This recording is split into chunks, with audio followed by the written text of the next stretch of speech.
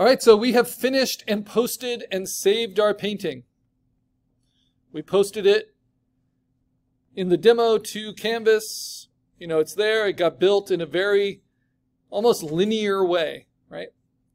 And even though some of our inspiration is a little bit more out there, this was the AI inspiration, kind of mixing Franz Marc, the German expressionist, doing a Siamese cat, and actually did a really good job. And that inspired some of my colors. And then there's there are these kind of contemporary painters. Now that I have kind of the, the representational painting, I can feel free now to experiment a little bit. So I want to make sure I've saved. And then I'm going to rename it.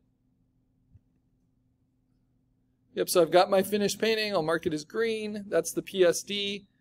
I have the JPEG of it that I put to Canvas. That's here. I'll mark that orange. But that doesn't need to be the end of the story. So what I'm going to do is go to save, and then I'm going to save it to the desktop as a different name. I'm just going to call it experiments. And then for these experiments, I'm going to merge everything, unlock it, except for the backgrounds. So I can just have my final image. Actually, I don't even need to merge. I can just delete all of these. So I just have white as a background and my painting. Now there are lots of things I can do, but the first thing I'm going to do is duplicate my painting. And then I'm going to, let's see, do something weird like this. Because all these are pixels you created, you can now treat them like the pixels that we composited back in our first assignments. And we can play with their hue saturation. We can play with their color balance. We can push them in different ways. Can make them really saturated, really dark, really bright. Can make a blue cat.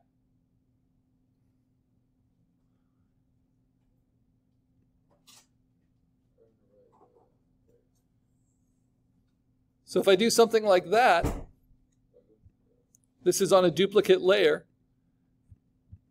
It feels like a totally different painter, right?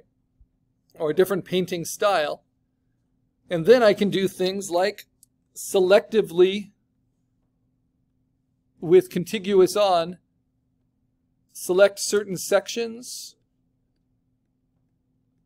I can even, I'm holding down shift, selecting different chunks of paint.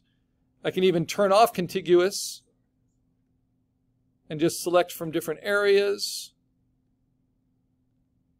And what it's grabbing are actual brush strokes. Okay? Then I can take that selection and I can move it between layers to my original and then duplicate just those brush strokes like that. Right? So one traditional painting technique that I sometimes use and like is you paint and you try to finish it off and then you sand the painting. And you sand it in some areas more than others, and that kind of uses heat and the friction and the abrasiveness of the sandpaper to knock everything back and smooth it together. But in digital, how can you play with some of these features? Right? You can selectively choose any paint strokes from any layer so that shows where they are. And then you can do different things to them. Like you can make them glow or you can give them a color overlay, which isn't as interesting. I like the glow with a lot of noise.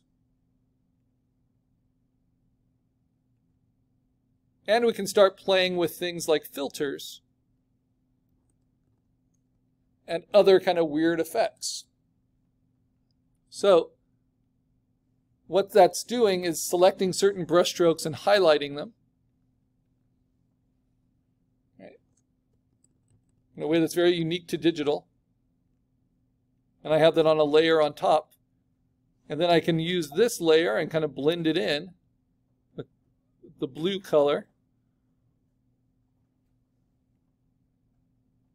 And I can duplicate this. I can right click and rasterize that layer style. So now they're just pixels I can play with. And I can do things like image adjustment, invert. Completely change them. Right. Now, everything I've done so far just comes from my own pixels. This isn't compositing anything in. I can play with different blending modes, kind of like that one. And just because my colors are so opposite, when I merge them together, it just goes to gray. That's what opposite colors do.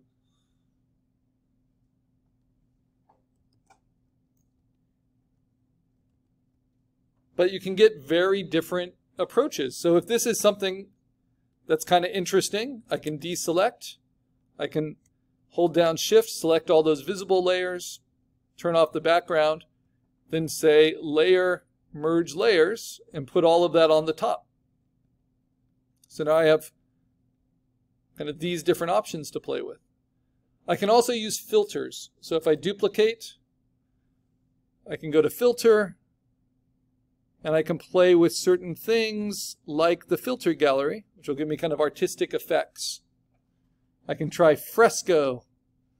They're all kind of grandiose names for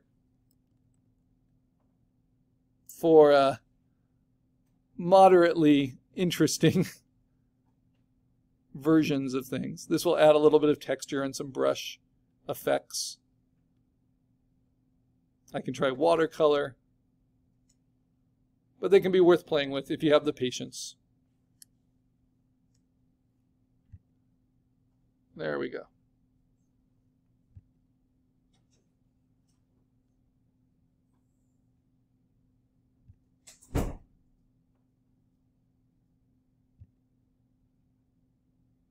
And if I say OK, I can then blend that with layers underneath. Just takes a while to process in the browser.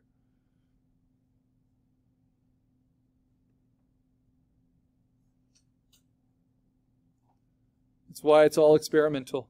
You can turn it into a chalk drawing.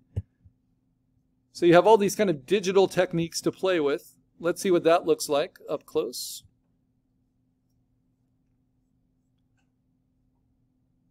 Think I want to save this because it's getting caught up on me. Okay, so that's that's it up close. It looks like camouflage.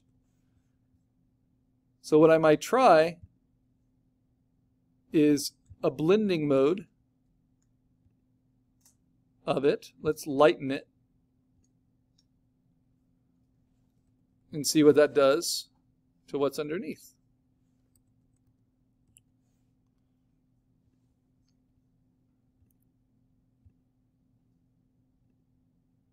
Yeah, I kind of like that.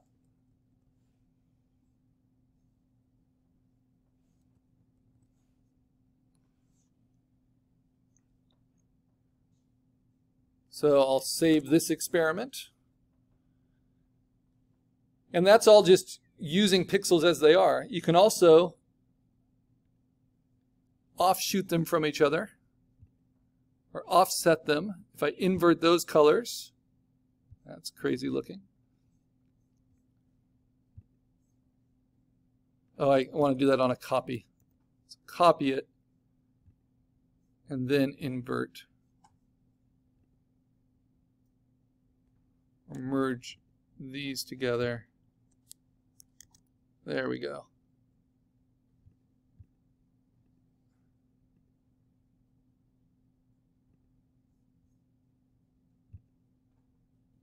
So basically, be careless and weird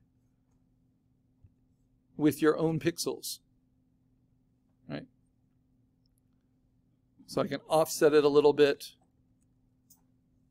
I can erase away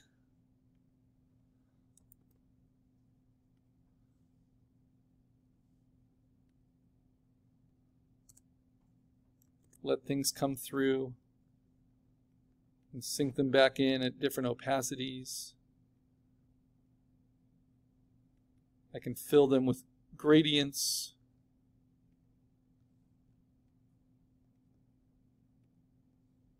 Crazy gradients, rainbows, whatever.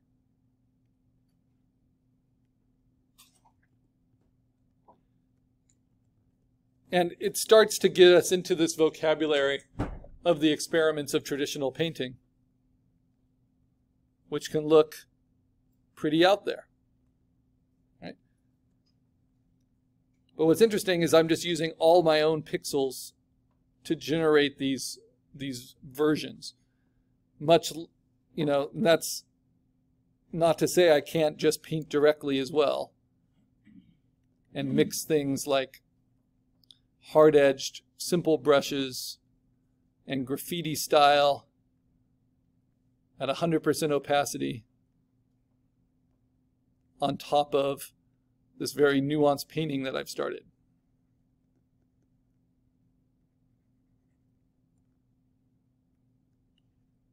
So digital painting has endless potential, and this leads us into our final project where you get to decide how to combine and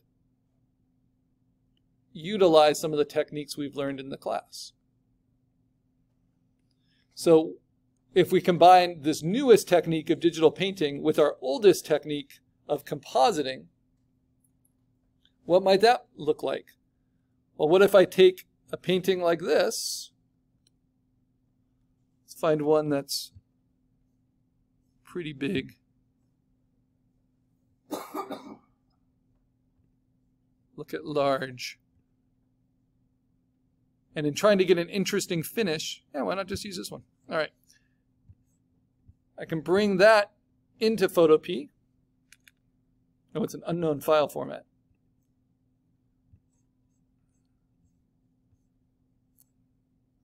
Those fine artists, they're tricky. But I won't let that stop me.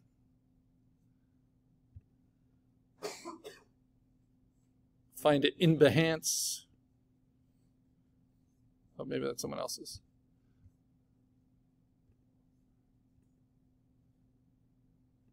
Open image in new tab, see it. Save it to the desktop. It's a JPEG. Bring it into Photopea.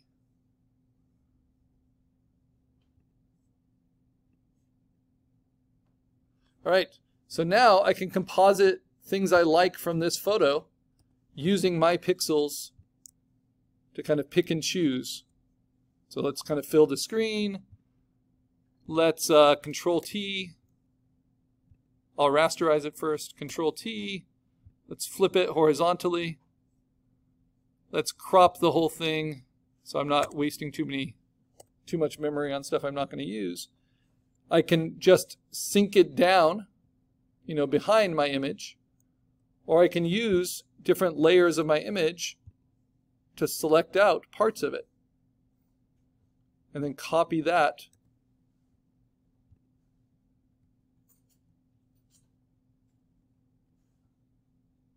onto my image. Let's try that again. Select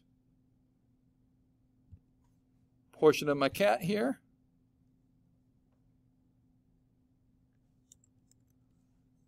Here, let's just go to my original painting. I'm going to select the empty space around the cat. There we go.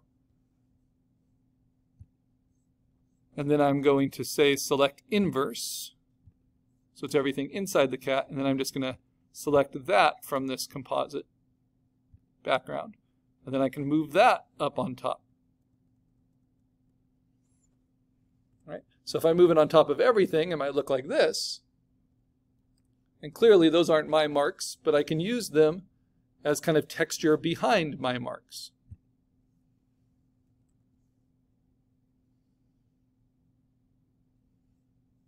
And with the offset, that can be pretty effective, pretty interesting.